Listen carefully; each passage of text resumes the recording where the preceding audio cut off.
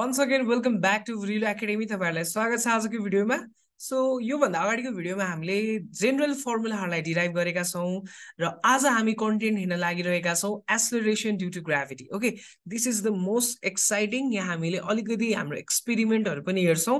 हाम्रो साइन्टिस्टहरूले कसरी एक्सपेरिमेन्ट गरेका थिए भन्ने कुराहरू। ल फर्स्टमा अब हामी एसलरेसन ड्यु टु ग्राभिटीको कुरा गर्नुभन्दा अगाडि एउटा जेनरल कुरा गरौँ है त। सपोज मैले एउटा हजुरहरूलाई यो स्टोन दिएँ। अब स्टोनलाई चाहिँ मैले हजुरलाई तलपट्टि फाल्नु भने एउटा सर्टेन हाइटबाट तल झारिदिनु भने अब अर्को यस्तै खालको एउटा मैले स्टोन दिएँ सेम आइडेन्टिकल र अब मैले के भने त्यही स्टोनलाई माथितिर फाल्नु भने।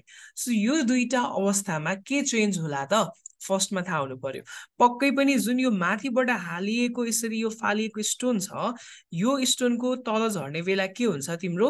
भेलोसिटी के होला? इन्क्रिज होला राइट भेलोसिटी इन्क्रिज होला।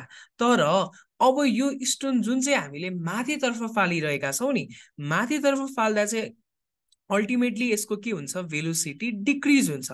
यो इफेक्ट त हामीलाई सबैलाई थाहा नै छ। भेलोसिटी इन्क्रिज हुन्छ जब माथिबाट तल फालिन्छ।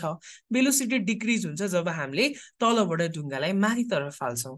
अब यसको एक्ज्याक्ट हामीले रिजल्ट के पाउँछौँ भने तिम्रो अल्टिमेटली भेलोसिटी चाहिँ इन्क्रिज हुन्छ। के कारणले इन्क्रिज हुन्छ? पक्कै पनि ग्राभिटीको कारणले। किनभने ढुङ्गा माथिबाट तल झारिन्छ भने त यो के हो? वर्क अलङ विथ ग्राभिटी हो। तर यदि मैले कुनै पनि ढुङ्गालाई चाहिँ माथितिर फाल्दैछु भने त्यति बेला भेलोसिटी डिक्रिज हुन्छ because of gravity because this work is against the gravity right अब यहीँबाट हामीले एसोलेसन ड्यु टु ग्राभिटीको कन्सेप्ट बुझ्छौँ। सो त्यो भेलोसिटीको चेन्जको रेट के छ त?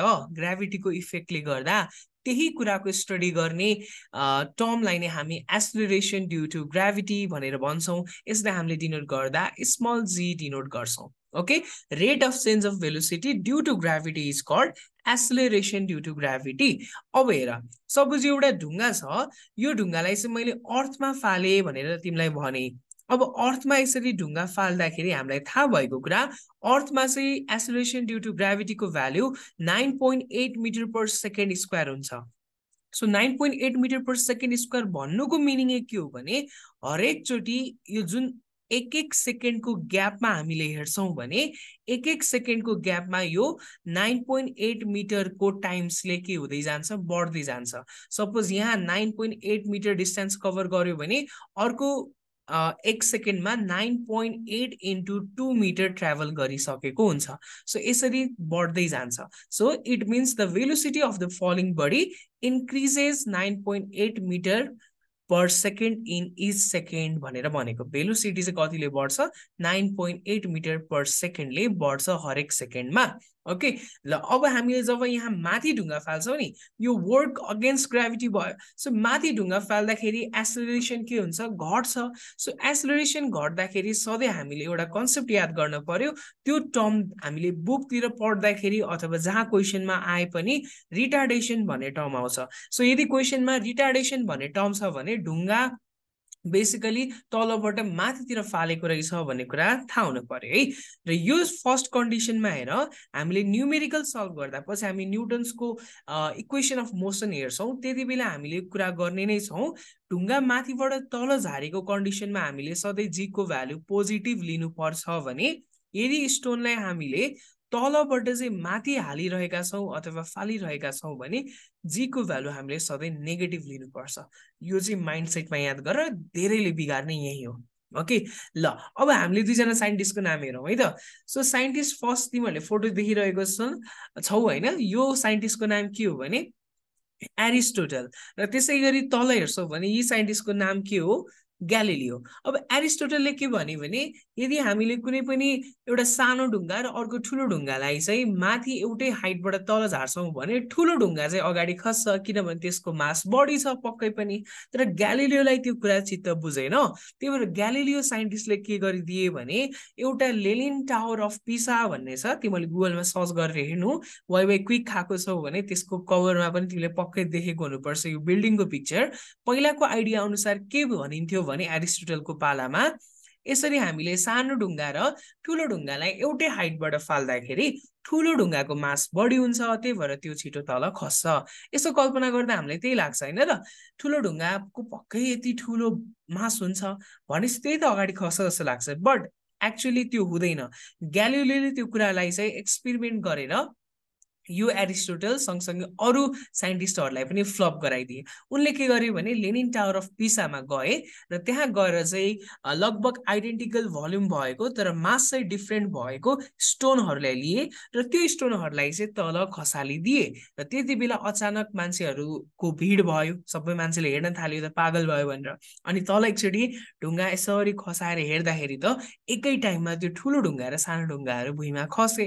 त्यस पछाडि मान्छेहरूले त्यो दिनदेखि चाहिँ बल्ल बिलिभ गर्न थाल्यो कि एसलेरेसन ड्यु टु ग्राभिटी अथवा ग्राभिटीको इफेक्ट चाहिँ मासमा डिपेन्ड गर्दैन रहेछ जति ठुलो मास भए पनि सानो मास भए पनि त्यो दुइटा सँगै तल खस्छ सो हामीले यो कन्क्लुजन यहाँबाट के बुझ्छौँ भने acceleration due to gravity is independent of the mass of that body. So this is very, very important point to remember.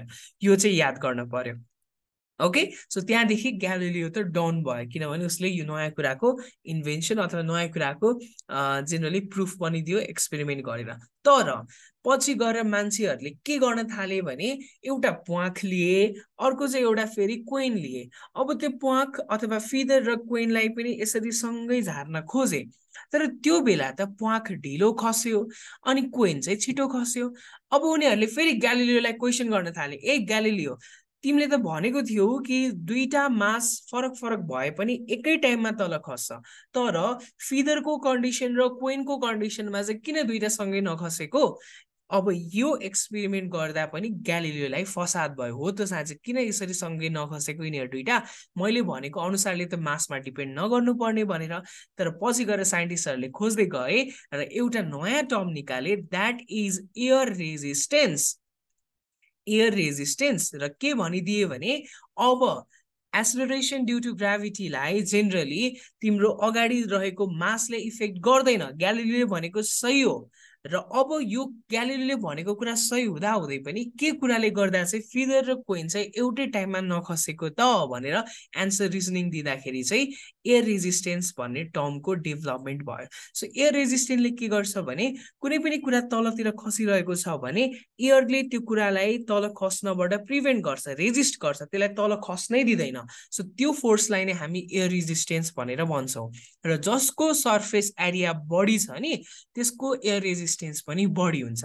So आकाशबाट खसिरहेको जुन त्यो फिदर छ उसको सर्फेस एरिया के थियो?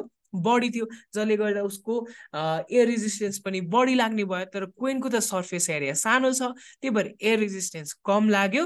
त्यही भएर एयर रेजिस्टेन्स कम लागिसके पछाडि त्यो क्वेन चाहिँ छिटो तल खस्यो भन्ने कुरा चाहिँ पछि गएर साइन्टिस्टहरूले भनिदिए। सो एयर रेजिस्टेन्सको कन्सेप्ट चाहिँ याद गर। यो कुरालाई प्रुभ गर्न अझै पनि एक्सपेरिमेन्ट के गरियो भने यो चाहिँ भ्याक्युम क्रिएट गर्यो एक ठाउँमा। सो भ्याक्युम क्रिएट गरिसकेपछि त्यहाँ एयर पनि हटाइयो। र जब एयर हटाइसके पछाडि यो एक्सपेरिमेन्ट क्यारी आउट गरियो त्यति बेला क्विन र फिदर चाहिँ एकैचोटि सँगै खसे। सो यसको अर्थ त्यहाँबाट हामीलाई थाहा भयो। यो जति पनि यो फिदर एन्ड क्विन एक्सपेरिमेन्टमा भएको कुरा रहेछ यो त एयर रेजिस्टेन्सले गर्दा नै भएको रहेछ। मासमा रियली ग्यालोलीले भनेको जस्तै डिपेन्डेन्ट रहेन रहेछ भन्ने कुरा चाहिँ उनीहरूले फाइनली कन्क्लुड गरे। ओके यो पोइन्ट चाहिँ हामीलाई थाहा हुनु पर्यो। अब केही स्पेसल केसहरू हामीलाई थाहा हुनुपर्छ ल। जस्तै यो एउटा कुनै पनि तिम्रो मास छ यसलाई हामीले क्यापिटल एम भनौँ र यसको रेडियस के छ क्यापिटल आर छ। अब अघि योभन्दा अगाडिको भिडियोमा हामीले गरेको कन्डिसनमा याद छ भने F is equal to G capital M small M upon R square prove गरेका थियौँ। र त्यति बेला चाहिँ त्यो अब्जेक्ट ठ्याक्कै हाम्रो सर्फेस अफ दि अर्थसँगै टाँसिएको थियो। तर अहिले अब्जेक्ट हेरेर त कहाँ छ? अलिकति सर्टेन एउटा हाइट माथि छ। सो यसलाई हामीले के भन्न मिल्यो भने एउटा सर्टेन हाइट माथि भएको कारणले यसलाई स्मल एच भनेर भन्न मिल्यो। अब हेर यसको स्मल एम छ यो क्यापिटल एम छ हेभेनली बडीको अर्थको यसको रेडियस छ। अब अघि पो हाम्रो यहीँ अब्जेक्ट थियो त्यही भएर हामीले डिस्टेन्सलाई आर मात्र लेख्यौँ। तर अब त डिस्टेन्सलाई आर मात्र लेख्न मिल्दैन किनभने एउटा सर्टेन हाइट माथि छ। सो अब यसको फर्मुलामा हामीले हामीलाई अगाडि थाहा भएको formula capital G small M capital M upon R square थियो होइन? अब यो आर स्क्वायर लेख्न पाउँदैनौँ हामीले। के लेख्नु पर्ने हुन्छ भने आर प्लस एचको होल स्क्वायर किनभने यो डिस्टेन्स भनेको त कम्प्लिट यो सेन्टरबाट यहाँसम्म हो। त्यही भएर यसलाई हामीले के लेख्न पर्यो? आर प्लस एच लेख्नु पर्यो। सो हाम्रो एउटा नयाँ फर्मुला यहाँबाट डिराइभ हुन्छ। याद गर F is equal to G capital M small M upon R plus एचको whole square अब यसलाई नै मैले जीको टर्ममा लेख्नु पर्यो भने के हुन्छ? G capital M upon R plus एचको whole square. कसरी स्मल एम काटियो? मैले अगाडि नै प्रुभ गरिसकेको छु। अब हेर है यो जी भनेको तिम्रो यहाँ भयो। तर यदि मैले अब यो जी ड्यास भनेको तिम्रो यहाँको भयो होइन? यहाँको नयाँ तिम्रो जुन एउटा अब्जेक्ट छ त्यहाँ रहेको जी ड्यास भनेको त्यहाँ रहेको एसोलेसन ड्यु टु ग्राभिटी भयो तर कहिलेकाहीँ तिमीलाई कसरी पनि सोध्न सक्छ भने यदि तिमीलाई यो मास दिएको छैन यति बेला हामीले यो फर्मुला युज गर्न मिल्दैन त्यति बेला चाहिँ हामीले अर्को फर्मुला युज गर्नुपर्छ त्यो भनेको चाहिँ G dash is equal to R upon R plus एचको whole square यसको पनि स्क्वायर हो इन्टु जी यो युज गर्नुपर्छ। यो जी भनेको चाहिँ तिम्रो अर्थको सर्फेसको र यो जी ड्यास भनेको चाहिँ यो माथि सर्टेन हाइटमा रहेको अब्जेक्टको है हामीलाई माउन्ट एभरेजसँग रिलेट गरेर क्वेसन एकदमै धेरै सोध्छ सो बी केयरफुल यदि हामीले यो फर्मुला लेख्ने हो भने यसरी direct R upon R plus एचको whole square into जी गरेर पनि गर्न मिल्यो। ओके? ल अघि भनेको फर्मुला जुन थियो नि यसरी नै हामीलाई दिएको रेडियस त यहाँसम्म मात्र भयो एउटा सर्टेन मास तिम्रो यहाँ छ भने हाइट यहाँसम्म भयो। त्यो भएर डिस्टेन्स हाम्रो आर प्लस एच हुन्छ। त्यही भएर हामीले आर प्लस एचको होल स्क्वायर गर्छौँ। र यही फर्मुला तिम्रो याद गर्नु पर्यो। खासमा यो डिराइभ भएको यो फर्मुला डिराइभ गर्ने हो खासमा। कसरी डिराइभ गर्ने मैले अहिले भनिनँ। लाइभ सेसनमा डिराइभ गर्ने हामी सिक्नेछौँ। अहिलेको लागि चाहिँ जस्ट इम्पोर्टेन्ट फर्मुलाहरू याद गर। अब कहिलेकाहीँ चाहिँ तिमीलाई दिन सक्ने भनेको हेर।